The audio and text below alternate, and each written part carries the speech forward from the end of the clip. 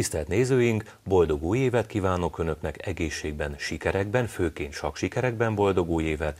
Köszöntöm Önöket, és köszönöm, hogy megtisztelik figyelmükkel a Lólépésben című sakmagazint. Én Gunyát Zoltán műsorvezető vagyok, mellettem pedig Varga Péter nagymester, nemzetközi mester ül, állandó műsorvezető társunk és szakértőnk. Én is mindenkit üdvözlök. Műsorunkban rendszeresen tudósítunk a megye és az ország és a világ sakk eseményeiről. Legutóbbi adásunk óta folyamatosan peregtek az események a sakk életben, szinte nem volt olyan hétvége, amikor ne lett volna sakk, akár szombaton, akár vasárnap. Peregtek tehát az események, lebonyolítás nyert a következő forduló az NB2 küzdelmeiben, és forduló lebonyolítására került sor a megyei csapatbajnokság küzdelmeiben is. Mai adásunkban erről szeretnénk beszámolni, illetőleg értékes alkotásnak tekinthető partikat szeretnénk bemutatni önöknek, amelyeket megyénk sakkozói játszottak. December 6-án az NB2 küzdelmeiben a hatodik forduló lebonyolítására került sor. A Tiszavasvári csapata odahaza fogadta a debreceni bajnokság kiskolát, sajnos a debreceni csapat igazolta a nevében jelzett minőséget, viszonylag nagyobb arányú vereséget tudott mérni a Tiszavasvári csapatára, 8-4-re győzött a debreceni csapat. Ennek ellenére a Tiszavasvári csapata nem került túlzottan hátra a tabellán, az NB2 küzdelmeiben a 9. helyen várja a 2017-es év következő NB2-es fordulóit. Ebben a fordulóban is voltak nagyon szép partik, amelyeket a Tiszavasvári játékosai ö, nyertek. A megye másik NB2-es csapata, a Nyíregyházi Sakkiskola Kazinc Barcikára látogatott, ahol az egykor szebb napokat élő Kazinc barcikai csapattal mérkőzött meg. A barcikai csapat nem olyan gyenge azért még most sem, hiszen ukrán nemzetközi mesterek tartották az első táblát, természetesen nem vehettek erőt a mi játékosainkon. A Nyíregyházi sakkiskola minimális arányú 6,5-5,5 arányú győzelmet aratott a barcikai csapattal szemben. Én, mint csapatvezető, mégis elégedetlen voltam az eredménnyel, mivel csapatunk nagyobb arányban is győzhetett volna. Sajnos ez az eredmény részben nekem is volt köszönhető, hiszen gyalogelőnyös, legalább egyenlő partibat vesztése sikerült rontanom egy csúnya egylépéses elnézéssel, tehát magamra vethetek igazából, és nem annyira a csapatomat tudom hibáztatni. A Nyíregyházi sakkiskola ezzel a győzelemmel megőrizte negyedik helyét az MB2 tabelláján, elméletileg van még esély a bajnokság végére, a bronzérem megszerzésére, kemény ellenfelek vannak azonban még hátra, és meglátjuk, hogy a Nyíregyházi sakkiskolának milyen eredményre tellik majd a hátralévő fordulókban. A megyei csapatbajnokságban lejátszották a harmadik fordulót. Kilenc csapat játszik a megyei csapatbajnokságban, ebből fakadóan négy mérkőzésre került sor a harmadik fordulóban, míg egy-egy csapat pihen.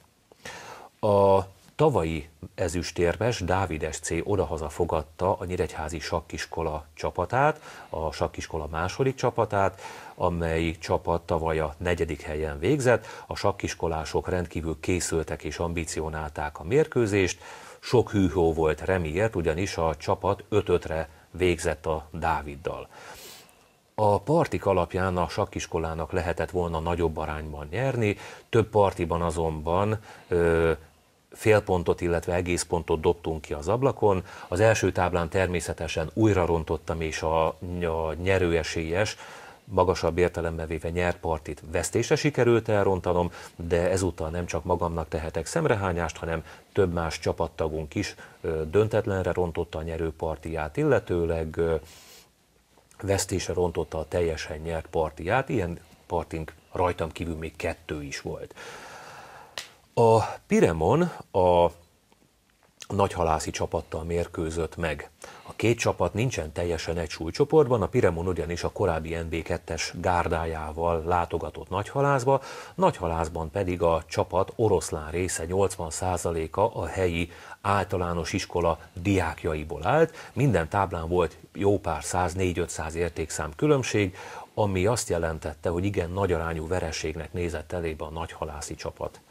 A papírforma igazolódott, mert a Piremon 9-1-re kapott, ö, nyert nagy halászban. A Piremon vezetőjétől, Trembász László sakmestertől megtudtam, hogy a partik egyáltalán nem tükrözték a végeredményt, ugyanis a nagyhalászi csapat rendkívül megizzasztotta a Piremont, és igen sok órás küzdelemben sikerült csupán a nagyhalászi gyerekeken felülkerekedni a Piremon igen rutinos és erős sakkozóinak. Megmérkőzött egymással a Fehérgyarmat és a Vaja. A vajai csapat a korábbi években gyengélkedett, Vaja környékén nem sikerült olyan játékos állományt kinevelni, kitermelni, amelyik eredményesen tudta volna a megye hagyományosan nagyobb és erősebb csapataival felvenni a küzdelmet. Erre az évadra egy kicsit erősítettek, három játékost is igazoltak, kettőt a megyén kívülről. Ez a siker, ami a az erősítésekben ö, nyilvánult meg, pontokban is realizálódott, ugyanis sikerült 6-4-re legyőzni a Fehér Gyarmatnak a csapatát. Még egy mérkőzésről kell, hogy beszámoljak. A tavalyi bronzérmes, a megye azt hiszem második legerősebb csapata, a Kisvárdai Refi SC Nyírbátorba látogatott. A papírforma nagyobb arányú nyírbátori vereséget jósolt, ami meg is történt, de mégiscsak két pontot szerzett Nyírbátor a Refi SC-től, tehát 8-2-re kaptak ki. Én azt hiszem, hogy ha a táblánként vesszük a, a játékosokat, akkor nagyobb arányú refis győzelem is születhetett volna. Ezek után a megyei csapatbajnokságban a tabella a következő, vezet természetesen a Piremon, amelyik a három fordulóban három mérkőzést vívott, nagyobb arányban vezet. Második helyen van a Refi SC, annak ellenére, hogy csupán még két fordulót játszott le, hiszen egy alkalommal pihenősoron volt. Harmadik helyen van a mindhárom mérkőzését meg ö, lejátszó, eddig még nem ö, pihenő Vajai SC, ami rendkívüli siker, Sipos Árpi bácsi által vezetett Vajai csapatnak. Negyedik helyen van a Nyíregyházi Sakkiskola második csapata, szintén csak kettő mérkőzést játszott még le eddig, és a csapat, ö, csapatok ezt követően folyamatosan egy-két ponttal leszakadva az éllovasoktól következnek. Az utolsó helyen álló Balkán csapata e- egyáltalán nem biztos, hogy utolsó helyen fogja végezni a megyei csapatbajnokságban, tekintettel arra, hogy utolsó helyen nem reális, mivel még a balkányi csapat is csupán kettő mérkőzést játszott le. Ezek után meg szeretném kérni Péter nagymestert, hogy a köszönésen kívül ő is szólaljon meg és mutassa meg nekünk, hogy milyen játszmatermésünk volt a, Szabolcs megyei sakkozók részéről az MB2 imént elmondott küzdelmeiben. Tehát az MB2-es csapatbajnokság utolsó fordulójából választottam e, egy partit.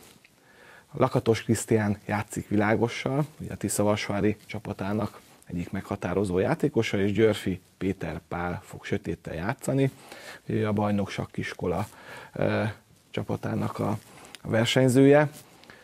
Egy nagyon, érde, hát azt mondom, hogy érdekes partit fogunk látni. Az eleje nem is annyira látványos, mint a vége, de a végén ott nagyon szépen e, taktikai útra sikerült terelni Krisztiánnak a játékot, úgyhogy, úgyhogy úgy gondolom, hogy egy, e, hogy egy élvezetes e, játszmát kell, fogunk megnézni, úgyhogy bízom benne, hogy a, a nézők is fogják ezt értékelni, ezt a játszmát, és emellett élvezni is egyben a lépéseket és a taktikai kombinációkat. Világosan E4-jel kezdett Krisztián, amire Huszár F6-tal, ugye az Aljehim védelem következett, Huszár C3 jött, amire D5-tel ugye azonnal a centrumot elfoglalta fekete. Azt szólja közben, hogy ez az Aljehim védelemnek egy pozíciós változata. Én úgy tudom, hogy Áron Nimzovic a világ sakkozásának egyik korábban meghatározó alakja vezette be, illetve tette népszerűvé ezt a megnyitás elméletben, egy nagyon szép pozíciós küzdelembe vezethet ez az állás. Igen, előnyt nem ad, tehát azt kell tudni, hogy ez az állás ugye egy olyan mellékösvény, ebben az aljahín védelemben, amit, amit annyira sűrű nem alkalmaznak, ugye nagyobb előnyt ad, hogyha azonnal betoljuk a gyalogot E5-re.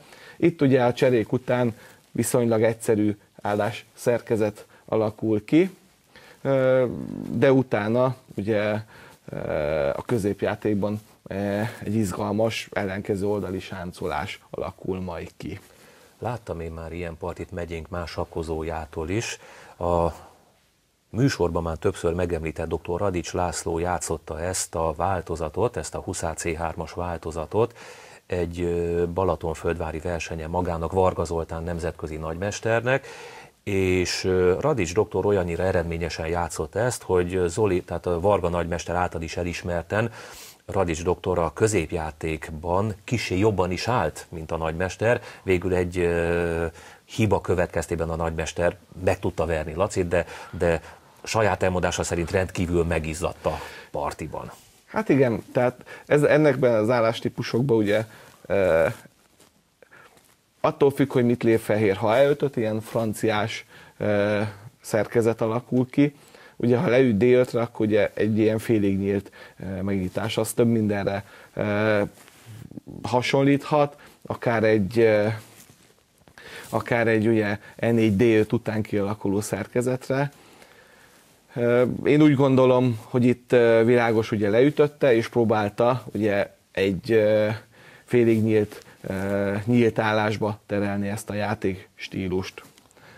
Ugye elüti D5 következett világossal, amire Huszár üti D5 jött, itt jött D4, ugye elfoglalja a centrumot, világos a gyaloggal, amire futó F5-tel fejlődött fekete. Ez egy teljesen normális, logikus, jó lépés, kifejlődünk a futóval, ott van a helye. A másik lehetőség az esetleg ugye G6, hogy futó G7 szányra fejleszti a sötét mezőmozgó futóját. Sötét haderő, világos, ezt választó, vagy sötét ezt választotta most.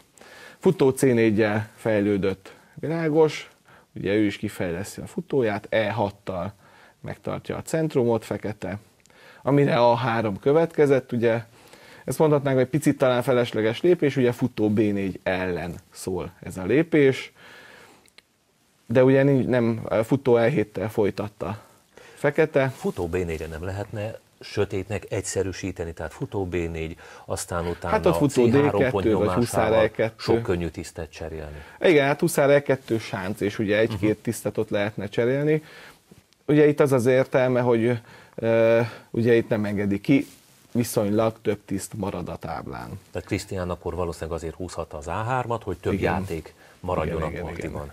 Értem. Most Huszár üti D5-öt lépett, ugye, amire elüti D5, következett futó D3-mal visszahúzta a futót ugye cserére, és ezért D7-re pedig következett Huszár F3 fejlődött.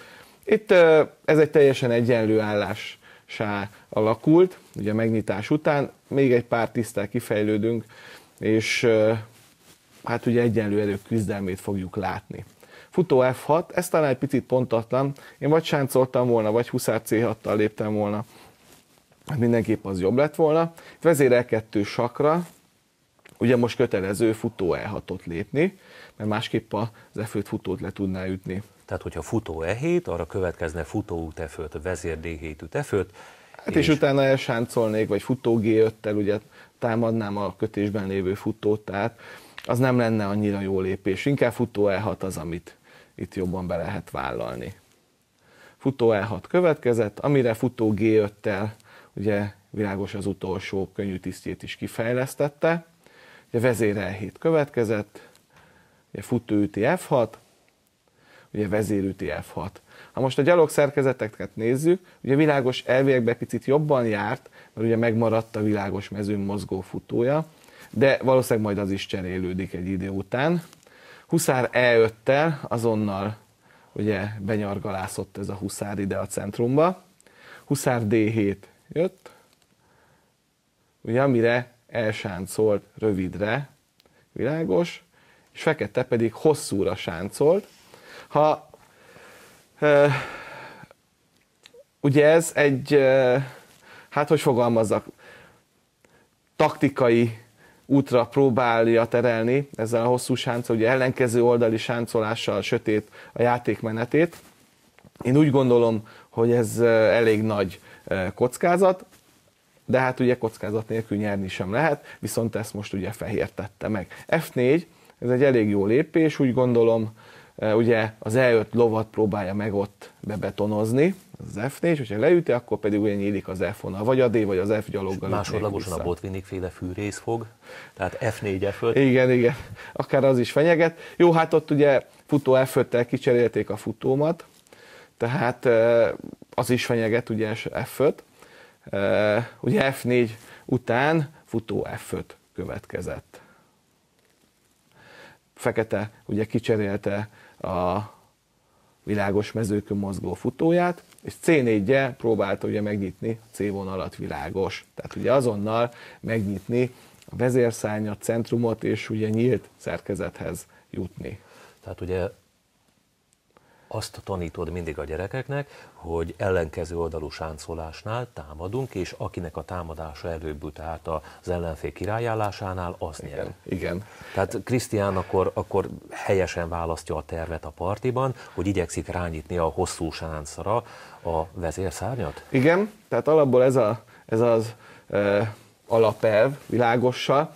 Igazából azt mondanám, hogy azért viszonylag kevés a figura. Tehát itt nehéz úgymond matra játszani, mert ugye elég sok könnyű tiszt lecserélődött, de ugye megpróbálkozik valahol játszani világos, és hol játszon, ha nem a vezérszárnyon. De azért kellett hozzá sötét hibája is, hogy ezt ki tudja használni majd világos. Hát lássuk akkor, hol volt a hiba. Futóüti D3, logikus jó lépés feketével, vezérüti D3, amire D üti C4 jött, vezérüti C4, és ugye huszárüti E5-tel, itt ugye az F7 pontra fenyegetett ütni világos, F üti E5 következett, és ugye vezér E6-tal megpróbált ugye végjátékba átevezni sötét, amit ugye világos ugye nem szeretett volna, vezér C3-at lépett. Ugye ott elnyegülne a D4 gyalog, tehát a végjáték a sötétnek talán egy picit előnyösebb lenne. Bástya D5-tel folytatta sötét. Tehát rögzíti a visszamaradt D gyalogot. Igen, és a nem játszó ugye H8 bástyáját majd D8-ra szeretné helyezni. Bástya a C1, ugye egy félig nyílt vonalra helyezzük a bástyánkat. Nagyon jó lépés. És vezér D7 következett. Én lehet, hogy C6-ot léptem volna. Szerintem a C6 biztosabb és jobb lépés lett volna. És utána király B8, bástya D8, az, az jobb terv. Jobb Tehát amíg világos felvonul az AB gyalogokkal, hogy B5-ön áttörjön. De még ott se tudsz áttörni, addig... mert C üti B, A üti B, és nem nagyon Tehát sötét szép. néhány óvintézkedést megtesz, és akkor igen. elfogyott a támadás. Igen, igen. Jó, Bástya F4-jel, világos ugye megvédte a D4 gyalogját. Ugye a vezér d persze támadtuk a D4-et is, meg kellett védeni, de így ugye elviekben az F7 gyalogot is tudjuk majd támadni. Bástya E8 következett. Én megint inkább D8-ra helyeztem volna ezt a bástyát. Bástya C F1 jött, amire ugye F 6 ha nyitja, akkor ugye gyalogot nyerek. Igazából D4-en visszakapnám a gyalogot, de, de ott nagyon megnyílna a, a centrum, e, és ebben nem mert belemenni fekete, inkább Bástya E7-tel megvédte az F7 gyalogot, amire H4 következett. Ez egy furcsa lépés, ugye, Igazából fekete ennek a G5 elleni védelem, de ugye egy picit gyengítjük a királyunkat, de ezt már nem tudja megtámadni, mivel fekete. Tehát ezért is jó lépés ez a H4, és ezt próbálta fekete is végrehajtani, de hát ezt elég rossz tervel kivitelezve. Ugye B6 következett, hogy esetleg majd C5-öt lépni, B4-jel folytatta világos, tehát ez ilyen furcsa, mert ugye úgy tűnik, mintha Fekete saját királyát gyengíteni ezzel a B6-tal. Én még mindig király B8 vagy azonnal C6-ot léptem volna, és valahogy ugye ott próbáltam volna megjátszani a centrumban a D4 gyalog ellen. Hogy az ilyen felállásban hogyan kell játszani világosnak, azt a, az Aljehin Kapablanka mérkőzés partijaiból megtanultuk, tehát én azt hiszem, hogy itt már Krisztián sokkal-sokkal jobban áll nem azt mondom, hogy konkrétan volna az olyan állásértékelés, de igazából ő játszik, sötét innentől kezdve inkább csak védekezik. A, a tartós kezdeményezés Krisztiáné. Hát igen, csak ugye ő is hol tud játszani. Tehát ugye, ha megnézzük, nem egyszerű, mert ugye az F ott van beduplázva a fehérnek a bássája, és ugye F7-et azt. És behatolni nem nagyon tud a fehér e, bástyák vagy vezérekkel, kellett hozzá azért fekete hatható segítsége. Én azért azt mondanám, hogy ez az állás nekem Nekem tetszik feketével, mert nehéz megbolygatni. Ha nem lépném B6-ot, ugye ami elvégben egy gyengítés, hanem mondjuk egy C6-tal játszanék. Hát akkor tudom, más volna igen, a helyzet. Nem tudom, hogy, hogy hogy köt bele az én állásomba. Tehát valószínűleg Bástya G4-jel szeretne belekötni, ugye, hogy a G gyalogot megtámadja, és hogyha G6-ot lépek, akkor meg F6-ot, amit a partiban látunk is majd. De ettől függetlenül én úgy gondolom, hogy, hogyha C6-ot lépnék, vezéremet E6-on hagyom, és akkor ugye, ha Bástya G4, gyakorlatilag az nincs, és le tudom majd ütni. Én ezt a B6-ot nem találom. Igen. igazán szimpatikusnak, tehát, tehát a C5-ön való áttörés felszabadító C5 az... az hát magára át, nyitja a partit, és, és konkrétan az volt a vesztő terv is. Majd meglátjuk. Tehát rossz terv, ahogy igen. egy sakkozók mondaná, magára nyitja a gázcsapot. Igen. igen. Ki, hát ugye király B7-tel kiment a kötésből fekete, vezér F3 következett, ugye a kötés kihasználás, ugye Igen, és ugye üthető a D gyalog. Hát igen, ugye nem üthető a D-gyalog, C6-tal ugye bezárta ezt a kötést, és világos, ugye vezér C3-mal. Ha F-et ütné, akkor ugye a D4 ott ragadna. Ezért megvédte a C, D4 gyalogot ezzel a C3 vezérrel. Vezér C7 következett, amire A4, ugye, és fehér megindul. Ugye elég logikus lépés, A6. Fekete ugye a B5 ellen próbálkozik védekezni, amire ugye Bástya G4-jel, most talált egy új tervet világos, a G7 gyalogot. És most nagyon nehéz, ugye valószínűleg G6 az egyetlen lépés, azzal meg ugye meggyengül az F6 pont, és innentől kezdve mondanám, hogy fehér egyértelműen jobban áll, és ő kezd el támadni. Még a gép valószínűleg a számítógép ugye itt sem mondana nagy előnyt, én úgy gondolom, de itt már jókat és pontosakat kell lépni feketével, hogy ne kerüljünk azon a hátrányba. Tehát világos módszeresen tudja erősíteni az állását, újabb és újabb gyeng, apró gyengeségeket igen, tud igen. kikényszeríteni sötét állásában, és, és ugye az emberi tényező ilyenkor olyan, hogy a tartós védekezés során egyszer csak hibázik és összeomlik. Igen, tehát én ezt a, egyszerűen ezt a C6, B6, A6-ot ezt, ezt nem látom jó tervnek. G6 következett feketével, amire Bástya F6 jött. Hát talán Bástya E6-tal lehetett volna itt ugye gyengíteni. Nem is azt mondom, hogy gyengíteni, bocsánat, inkább azt mondom, hogy cserélni egy bástyát, tehát könnyíteni a helyzeten, inkább így fogalmaznék. Ugye kevesebb figura, kevesebb gond, szokták mondani, ez néha igaz, néha nem. Rendszerint, néha még több gond. Rendszerint azért, ha, ha cseréljük a figurákat, akkor könnyítjük a, a nyomást az állásunk nehezedő nyomást, ugye, amit esetleg több tiszt tud e, e, kialakítani. Ugye én inkább Bástya valószínűleg cserére ajánlottam volna azt a bástyát. Következett Bástya ED7, ugye, amire Bástya E4 jött, ugye most E6-tal próbálkozik majd tovább nyitni, és ugye nem nagyon tudott mit csinálni, megérkezett C5. Na most, hát én azt mondom, hogy ez ilyen kamikáze módon ilyen öngyilkos jelölt lépés. Desperado. Hát, igen, tehát ez, ez gyakorlatilag a saját királyunk nyitottuk. Nem tudom, hogy volt-e jobb, hát biztos, hogy kellett jobb lépés lenni ennél, de itt Fekete elvesztette a fonalat. Én azt hiszem, hogy ilyenkor célszerűbb talán lemenni védekezésbe, lemenni kutyába sötétnek, Igen. mert ugye, hogyha C5-tel keménykedik, a bástya már ott van a hatodik soron, az F6 bástya, tehát, tehát az állás kinyitására minden világos tiszt robbanásszerű gyorsasággal egyre jobb helyzetben hát van. Tehát sokkal jobb helyzetben vannak most a világos tisztek a C5 robbantás esetére, mint korábban. Tehát igen. Hát, Sötét kitartó munkával rontott még az állásán, mielőtt igen. megvalósította a C5-öt. Én nem tartott sokáig már parti. Ugye Fekete B üti C5-tel, ugye kinyitotta a B vonalat, B gyaloggal leütötte a C5 gyalogot, amire Sötét visszaütött a B gyaloggal, és ugye E6-tal ugye nyitotta a bástyáknak az állását fehér. Ugye F üti E6 következett, és ezt az E bástyával leütötte fehér. Ugye most bástya üti D4 következett, amire vezér B3 sakk.